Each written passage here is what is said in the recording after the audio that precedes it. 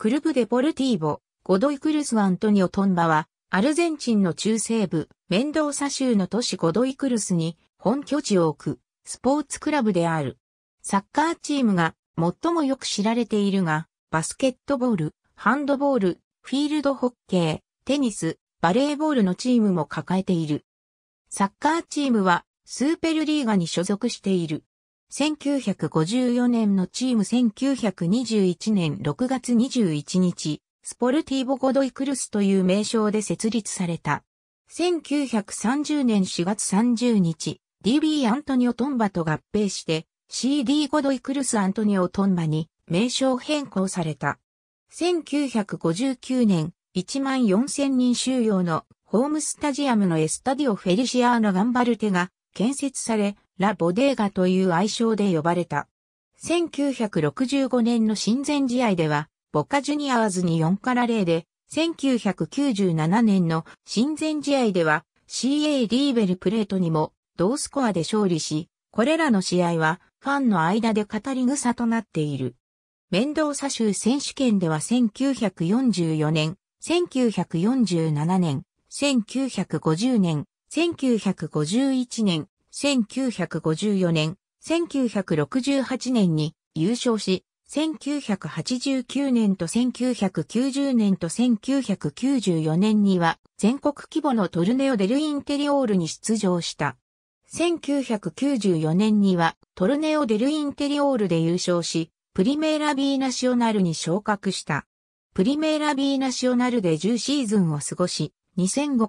2006年9月9日の CA ベルグラーノ戦で20歳のエンソ・ペレスがプリメーラディビシオンでのクラブ初得点を決めた。2006アペルトゥーラは18位と苦しみ、クラウスーラ2007は10位と持ち直したが、2006から07シーズン終了後には過去3シーズンの獲得勝ち点率が20クラブ中18位となった。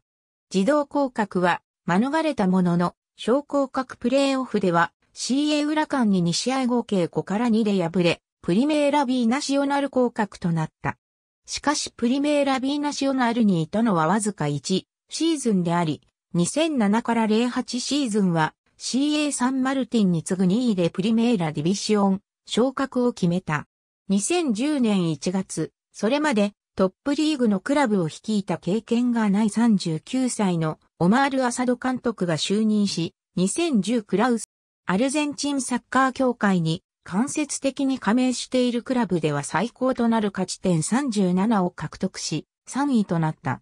2010から11シーズンも躍進のシーズンとなった。アペルトゥーラ2010では5位、クラウスーラ2011では3位となり、2010年の通算成績3位でコパリベルタドーレス出場権を獲得した。2011年前半にはコパリベルタドーレスに出場し、グループリーグではルドジューキと CA ペニャロール、CA インデペンディエンテと同組となった。2勝1分3敗でグループ最下位に終わったが、グループ首位から最下位まで勝ち点3の混戦だった。2011年9月10日の CEA オール、ボーイズ戦では6から1の対象を収めている。2011年後半にはコパスダメリカーナに出場し、2回戦で CA、ラヌースを破ったが、決勝トーナメント1回戦では、ウニベルシタディオ・デポルテスに PK 戦の末に敗れた。2012年にもコパリベルタドーレスに出場し、CF ウニベルシダデチレ、アトレティコナシオナル、ペニャロールと同組となった。ホームでのペニャロール戦には勝利したが、1勝2分3敗の勝ち点5でグループ3位に終わった。2012年11月には、マルティン・パレルモが監督に就任し、ロベルト・アボンダンシェーリがコーチに就任した。クラブ名に由来するエルトンバ、またはボデゲーロという愛称を持つ。